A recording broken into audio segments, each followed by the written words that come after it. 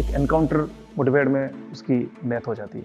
उसमें मुझे अपने साथियों के साथ सवा सात साल तक, सात साल और तीन महीने तक मुझे जेल में रहना पड़ा। कई कई मरतबा जमानत याचिकाएँ लगाई गई, लेकिन नतीजा सब तरफ़ सिफर रहा। एक छः बाई सात की जो कोटली है, उसके अंदर आप आप अपने आप को कैसे सर्वाइव कर सकते हैं? क्रिमिनल्स के अंदर वर्दी की साख को बचाए रखना कितना महत्वपूर्ण था। तो सभी ने सोचा कि मैं टूट चुका हूँगा उतना मैं कर पाऊँगा, लोगों को ये उम्मीद नहीं थी। लेकिन मैं आपको ये बताना चाहता हूँ। क्या कभी आपके साथ ऐसा हुआ है कि आप खाने की प्लेट लेके बैठे और खाने के पहले निवाले में कोई ऐसी अनवांटेड चीज़ आपके खाने में आए, जैसे चिपकली की पूंछ हो, दाल में कोई कंकर पत्थर हो, कोई मरे हुए चूहे की हड्डी हो, और आपको खाना छोड़ना पड़े और यहाँ तक आप किसी को शिकायत तक नहीं कर सकते। क्या ऐसा कभी हुआ है आपके साथ? मेरे साथ हुआ है। एक, दो नहीं कई बार हुआ है। उसके बावजूद भी मैं आज उसी दृढ़ता से आज यहाँ खड़ा हूँ और ये बताने के लिए यहाँ आया हूँ। नमस्कार दोस्तों, मेरा नाम हिमांशु सिंह राजावत है और मैं राजस्थान पुलिस में एक इंस्पेक्टर हूँ। मैं अपनी कहानी की शुरुआत करूँ तो शुरू होती है राजस्थान के पाली ज़िले के एक छोटे से गाँव भीटवाड़ा से, जहाँ पे हम परिवार में करीब सात लोग हैं और मेरे पिता एक शिक्षक हैं। हम पाँच भाई बहन को जहाँ तक संसाधन मौजूद थे उन्होंने पूरी कोशिश की कि हम पढ़ लिख के काबिल बन जाएँ। उस समय में इतने बड़े परिवार की ज़िम्मेदारी का खर्च उठाना अपने आप में एक चुनौतीपूर्ण था। लेकिन उन्होंने पूरी कोशिश की कि हम काबिल बने, अच्छे बने। मेरे गाँव में एक अजीब सा ट्रेंड था कि दसवीं, बारहवीं जैसी पास करता तो वो लड़का कमाने के लिए साउथ में चला जाता था। कभी मुंबई, कभी मद्रास अलग अलग बिज़नेस में काम करने चला जाता था। लेकिन मेरी सोच थोड़ी सी इनसे डिफरेंट थी। मैं चाहता था कि मैं सरकारी सेवा में जाऊँ और सरकारी सेवा के साथ मेरी चॉइस थी कि मैं यूनिफॉर्म सर्विस ज्वाइन करूँ। मैंने अपनी ट्वेल्थ की पढ़ाई पूरी की और उसके बाद उदयपुर शहर में पढ़ने गया। उस समय में मुझे उदयपुर शहर में पढ़ने के लिए जाना मेरे लिए एक बहुत बड़ी बात हुआ करती थी। उसका खर्च वहन करना और वहाँ रह के पढ़ना हॉस्टल में पढ़ना था, बहुत मुश्किल था।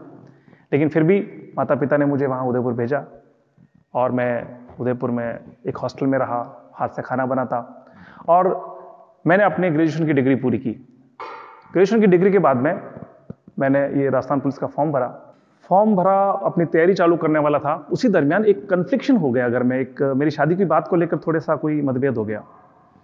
और बात इतना बढ़ा कि आ, मेरे माता पिता ने कहा कि जब तुम अपने आ, खुद के फैसले खुद ले रहे हो और घर की नहीं सुनते हो तो तुम अपनी ज़िंदगी के फैसले भी तुम खुद ही लेना।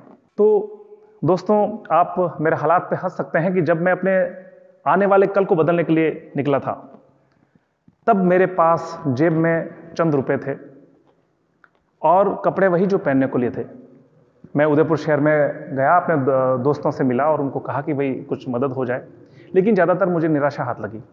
एक दोस्त था मेरा, उसने कहा कि हम साथ मिलकर पढ़ाई करेंगे और लकीली वो भी सब इंस्पेक्टर की तैयारी कर रहा था। अब सिर्फ़ चार महीने बचे थे। एग्ज़ाम की तैयारी करना था।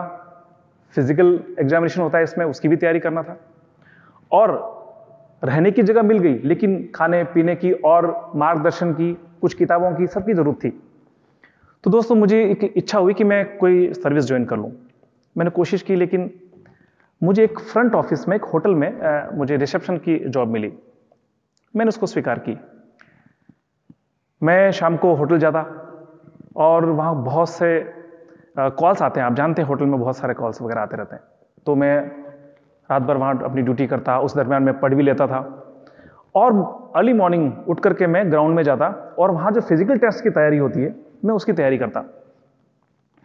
वहाँ दौड़ना, कूदना और एक वो बॉल फेंकने वाला होता, सारे इंसिडेंट हमको करने होते थे। मैं रोज जाता, हर रोज उसकी प्रयास करता और पूरे दिन आने के बाद में रूम में खुद का खाना बनाता, दोस्त के साथ रहता और पढ़ाई करता था। दोस्तों, कहते हैं ना कि अगर सच्चे मन से और दृढ़ निश्चय से अगर कोई काम किया जाए तो निश्चित रूप से सफलता मिलती है। मैं उस एक अल्प अवधि में मैंने वो पूरा जो मेरा अचीवमेंट था, मेरा गोल था वो मैंने पूरा किया और मैं राजस्थान पुलिस में as a sub inspector select हो गया। 1999 में मेरी ट्रेनिंग स्टार्ट हुई। ट्रेनिंग के दौरान पूरे साल मैंने काफ़ी अच्छी मेहनत की और वहाँ पे जो हमारे कोर्सेज होते हैं, उसके अंदर horse riding firing PT parade और काफ़ी जो कोर्सेज हैं, उस सभी सभी में मैंने काफ़ी अच्छा प्रदर्शन किया। मैं अव्वल रहा वहाँ पे और इसी की बदौलत तत्कालीन जो गृह मंत्री थे, राजस्थान सरकार, उन्होंने मुझे आउटडोर बेस्ट का खिताब दिया, ये मेरे लिए बहुत बड़ी बात थी। उसके बाद मेरी पोस्टिंग हो गई राजसमंद ज़िले में। राजसमंद ज़िले में मैं अपने कर्तव्यनिष्ठा, काम के प्रति मेरी लगन और सीनियर्स का मेरे ऊपर फेथ धीरे धीरे धीरे मेरा मेरा सम्मान होने लगा था। पुलिस में मुझे एक अच्छे थानाधिकारी के रूप में देखा जाता था। और जनता में भी मैं लोकप्रिय था। उसके बाद मेरा पोस्टिंग उदयपुर ज़िले में होता है। कहते हैं ना दोस्तों लाइफ इज़ अनप्रिडिक्टेबल जीवन में कभी भी कुछ हो जाता है, पता नहीं चलता। जैसा हम सोचते हैं वैसा होता नहीं, और कई बार जैसा हम नहीं सोचते वैसा हो जाता है। एक बार मैं अपने थाने में अपने जवानों के साथ काम कर रहा था। मेरे पास एक कॉल आता है कि आपको हेडक्वार्टर पे बुला रहे हैं। मैं जाता हूँ वहाँ पे। मैं जाता हूँ, मेरे सीनियर्स वहाँ बैठे थे। उन्होंने मुझे बताया कि आपको एक बड़े क्रिमिनल को पकड़ने की जो टीम बनाएगी, उसमें आपको सेलेक्ट किया है। मेरे लिए बहुत खुशी की बात थी कि इतने लोगों में पूरे डिस्ट्रिक्ट के अंदर मेरा सिलेक्शन हुआ। करीब हम डेढ़ सौ सब इंस्पेक्टर्स थे वहाँ पे और उसमें मेरा सिलेक्शन हुआ। हम दो सब इंस्पेक्टर सिलेक्शन हुआ, मुझे काफ़ी खुशी थी इस बात को लेकर के। अब उस टीम के साथ मैंने अपना काम काज जो है प्रारंभ किया। उस मुलजिम के बारे में पता करने लगे, हम उसको ढूँढने लगे इंटरस्टेट जाके ढूँढने लगे। और एक इसी घटनाक्रम के दौरान आपने सुना होगा दोस्तों 2005 में एक सोहराबुद्दीन एनकाउंटर केस हुआ था। ये वही सोहराबुद्दीन था जिसको हम पकड़ना चाहते थे। और एक एनकाउंटर मुठभेड़ में उसकी डेथ हो जाती है। इस केस के बारे में आप जानते होंगे। आप गूगल पे, इंटरनेट पे इसको सर्च कर सकते हैं। उस केस में काफ़ी विवाद हुए, काफ़ी प्रश्नवाचक लगे। और देश की नामी जो एजेंसीज है इन्वेस्टिगेशन एजेंसीज है उन्होंने अपनी जाँच पड़ताल की। उसमें मुझे अपने साथियों के साथ सवा सात साल तक सात साल और तीन महीने तक मुझे जेल में रहना पड़ा। विषय ये था कि जीवन में आप किसी एक आ, काम में किसी सम्मानजनक स्थिति में होते हैं और वहाँ से सीधे आप धरातल पे आ जाते हैं। और ये किसी के साथ हो सकता है। आप अपनी जॉब कर रहे होते हैं आप किसी बड़े क्रिमिनल को पकड़ना चाहते हैं और वहाँ गए और उसके बाद में ऐसा इंसिडेंट हुआ होता है और उसके बाद में आप जेल में हैं। दोस्तों sessions court high court supreme court कई कई मरतबा जमानत याचिकाएँ लगाई गई लेकिन नतीजा सब तरफ़ सिफर रहा। सुप्रीम कोर्ट ने केस को मुंबई ट्रांसफ़र कर दिया। वहाँ जब हमारा पूरा केस ट्रांसफ़र हो गया तो हम सब कैदियों को भी वहाँ लेके गए। पूरा केस के जो सारे आ, हमारे एक्यूज थे हम सब लोग वहाँ गए। तो वहाँ मुंबई में एक सेंट्रल जेल तलोजा है काफ़ी बड़ी जेलों में से इंडिया की। उसमें एक हाई सिक्योरिटी जोन है आ, अंडा सेल बोलते हैं जिसको ओल्ड शेप में उसका वो होता है आ, शेप। तो वहाँ में रखा गया। आप बड़ा ताजुब करेंगे कि जहाँ हम रहें वहाँ एक तरफ़ हम पुलिस वाले थे और एक तरफ़ देश के टॉप लेवल के क्रिमिनल्स थे। आपने नाम सुने होंगे अंडरवर्ल्ड में अबू सलेम अरुण गवली छोटा राजन से रिलेटेड डी के राव मालेगांव ब्लास्ट के लोग। दोस्तों, एक तरफ़ हम पुलिस के अधिकारी थे और एक तरफ़ देश के टॉप लेवल के क्रिमिनल्स आप ये मान सकते हैं कि एक क्रिमिनल्स के अंदर वर्दी की साख को बचाए रखना कितना महत्वपूर्ण था। पूरा समय ज़रूर था, लेकिन उसके बावजूद भी मुझे याद था कि मैं एक पुलिस अफसर हूँ और उसकी गरिमा मुझे मेंटेन करके रखना है। आप जानते होंगे, पुलिस के अधिकारी ही किसी भी क्रिमिनल को जेल में भेजते हैं। जो भी जेल जाता है, उसको भेजता हमेशा पुलिस वाला ही है। तो क्रिमिनल्स, हम पुलिस वालों के हाँ हालाँकि हम जेल में थे, लेकिन क्रिमिनल्स जो है पुलिस वालों के प्रति एक एक गलत सोच रखते हैं उनकी। एक विरोधाभास, एक रिवेंज जो है उनके मन में होता है। तो वो हम सीधे हमसे नहीं लड़ सकते थे। लेकिन वो जब भी कुछ खाना देने के लिए आते थे तो खाने में कोई ऐसी चीज़ डाल देते थे, ताकि हम खाना नहीं खा सकें, हम परेशान रहें, और वो बदला लेने की नीयत से वो इस तरह की कार्रवाई करते थे। हमें पता था कि नियति को जो मंजूर है, वो हो जाएगा, लेकिन हमको दृढ़ता से और साहस से अंदर रहना है। दोस्तों, कई बार नहीं आता था तो वो नई बाल काटते वक्त जबरन कट लगा देता था। वो एक रिवेंज का एक पार्ट था।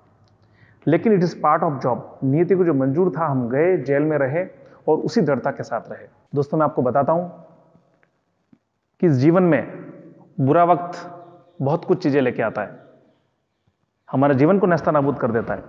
लेकिन उसके बावजूद भी जीवन के बहुत महत्वपूर्ण सबक हमको सिखा के जाता है। और उस बुरे वक्त में भी यदि चाहे आदमी तो क्या बेहतर ढूंढ सकता है ये बहुत महत्वपूर्ण बात है। दोस्तों, जब जमानते होना बंद हो गया तो मैंने कोशिश की। मेरी इंग्लिश थोड़ी कमज़ोर थी। मैं इंग्लिश की किताबें पढ़ने लगा। मैं डिक्शनरी के पूरे के पूरे वर्ड्स पाँच पाँच, छह छह बार पढ़ लिए थे मैंने। और उनको यूज़ करता, मेरे साथ में सीनियर पुलिस ऑफिसर्स थे, आईपीएस लेवल के ऑफिसर्स थे तो मैं उनसे भी इंग्लिश में बात करता था। मेरी इंग्लिश ठीक हो गई थी। फिर मुझे लगा कि मैं ग्रेजुएशन करती सीधा ही पुलिस में आ गया तो मेरी पोस्ट ग्रेजुएशन बाकी थी। तो मैंने डिस्टेंस एजुकेशन से ह्यूमन रिसोर्स मैनेजमेंट में एमबीए का फॉर्म भरा। और आपको ताजुब होगा कि 75 परसेंट से मैंने ह्यूमन रिसोर्स मैनेजमेंट में एमबीए किया। दिमाग में कितना सकारात्मक मैं रह सकता हूँ, मैं कोशिश करता था। मैं गन टू एक्सरसाइज करता था ताकि रात को नींद आ जाए। एक छः बाई सात की जो कोटली है, उसके अंदर आप आप अपने आप को कैसे सर्वाइव कर सकते हैं? ये चीज़ें मैंने सीखी। ये सामान्य बात नहीं है। लेकिन उसके बावजूद भी जब परिस्थितियाँ ऐसी आती है तो निश्चित रूप से आदमी को कोई ना कोई इसके रास्ते निकालने चाहिए और वो मैंने किया। दोस्तों, वक्त बदलता है। सुप्रीम कोर्ट ने हमें जमानत दी। जमानत देने के बाद में जब मैं रिहा हुआ तो सभी ने सोचा कि मैं टूट चुका हूँगा मैं अपने आप को बदल चुका हूँगा अब मेरे में वो क्षमता नहीं रही होगी कि मैं पहले जितना अच्छा काम करता था पुलिस के लिए उतना मैं कर पाऊँगा। लोगों को उम्मीद नहीं थी। लेकिन मैं आपको ये बताना चाहता हूँ कि मैं दुगनी जोश, ताकत और ऊर्जा से वापस लौटा। और मैंने कोशिश की कि मैं जो पहले मैं जो पुलिस को देता था, उससे भी बेहतर देने की कोशिश करूँ। और मैंने दिया भी।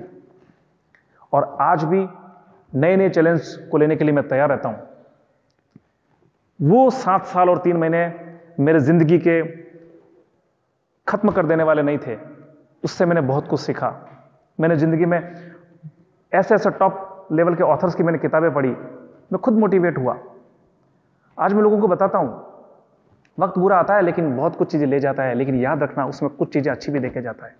आप चाहो तो उसमें अच्छी चीज़ें ढूंढ सकते हो। मैं लौटा, मेरा प्रमोशन हुआ। सरकार ने वापस मुझे पोस्टिंग भी दी। और वक्त बदला। उसके बाद मुझे उस केस से भी बरी होना था। पुलिस की नौकरी के साथ साथ हमने चार साल तक पूरे केस की स्टडी की, केस पे फोकस किया और बॉम्बे पेशी पे जाते थे नौकरी से। और आपको बताऊँ, उस केस में मैं बाइज्जत बरी भी हुआ। ये बहुत बड़ी बात थी हमारे लिए, पुनर्जन्म जैसी बात थी। एक तरफ़ हमारे ऊपर ट्रिपल मर्डर का केस था और एक तरफ़ हम पुलिस के काम कर रहे थे।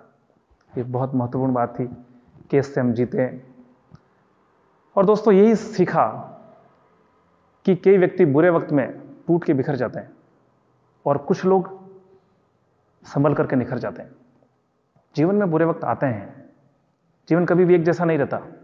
लेकिन इस बुरे वक्त में आप क्या बेहतर कर सकते हैं, वो आप पे निर्भर करता है। अंत में मैं आपको एक बात कहना चाहूँगा। मुश्किलें दिल के इरादे आजमाती है स्वप्न के पर्दे निगाहों से हटाती है। मुश्किलें दिल के इरादे आजमाती है, स्वप्न के पर्दे निगाहों से हटाती है। हौसला मत हार गिरकर ओ मुसाफिर, ठोकरें इंसान को चलना सिखाती है, ठोकरें इंसान को चल, जय हिंद इंसान को चल। इस वीडियो के बारे में अपनी राय नीचे कमेंट सेक्शन में हमें बताएँ और अपने दोस्तों के साथ ये वीडियो शेयर करना ना भूलें।